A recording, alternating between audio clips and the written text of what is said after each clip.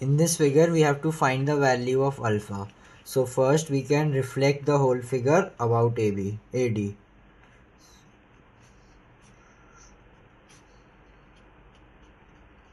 and label these points as B dash and C dash. We can see that AB is equal to AB dash. So this is equal these all angles become equal.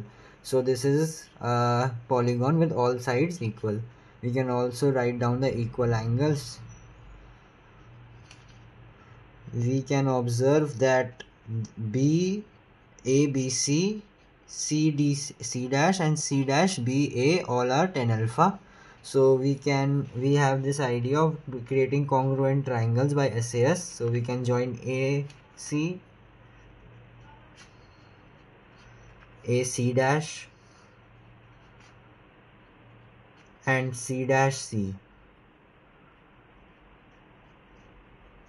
this means that triangle this makes the triangle ABC congruent to triangle CDC dash congruent to triangle ABC dash by SAS by CPCT we can say that AC is equal to CC dash is equal to AC dash.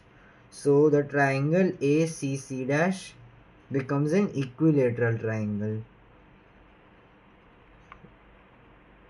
Hence, the angle CAC dash is equal to 60 degree. And we can also write this angle in the terms of alpha. We know that uh, BAC triangle and AB dash C dash is isosceles.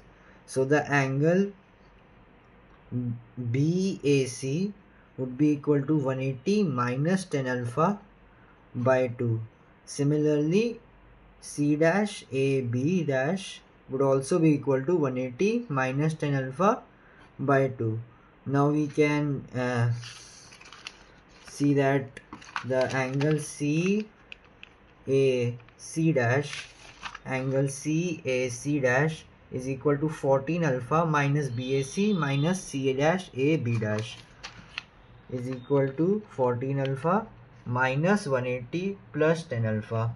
This is equal to 60 degree this will become 24 alpha minus 180 24 alpha is equal to 240 so alpha is equal to 10 degree. This is our answer